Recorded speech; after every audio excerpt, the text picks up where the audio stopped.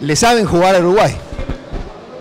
Bueno, eh, teníamos que ganar, no es que le sabemos jugar a Uruguay. El rival de hoy no importaba, estábamos en casa, teníamos que ganar.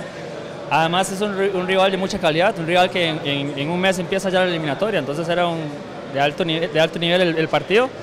Y sí, bueno, al final le ganamos a Uruguay y, y, le sabemos ganar al final. Y además ustedes venían de una racha importante sin victoria, esto los solidifica sobre todo con un nuevo técnico. Sí, totalmente. Máxime que estamos a dos meses de empezar la eliminatoria nosotros y tenemos rato de no perder en este estadio, queremos hacer una fortaleza para la eliminatoria, pero también necesitamos el triunfo hoy y por dicha lo pudimos lograr. ¿Cómo te viste a vos mismo? No, bien, bien. Estoy contento por el resultado del equipo porque también en lo personal ha venido creciendo y esperemos todos estar en el mejor ritmo posible para la eliminatoria.